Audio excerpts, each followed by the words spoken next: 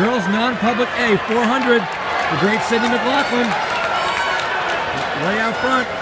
About 26 point for Sydney McLaughlin. Going to keep it here.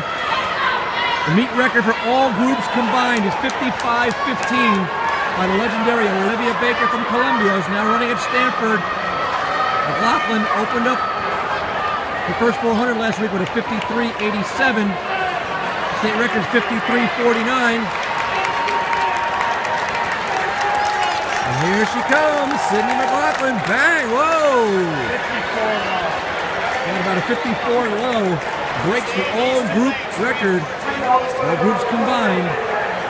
As I mentioned, Olivia Baker had it 55 15. Well, that's gone now.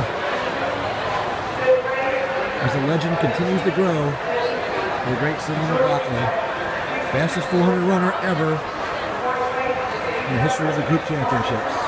Congrats to Sydney. Might see her again in a 4x4 later.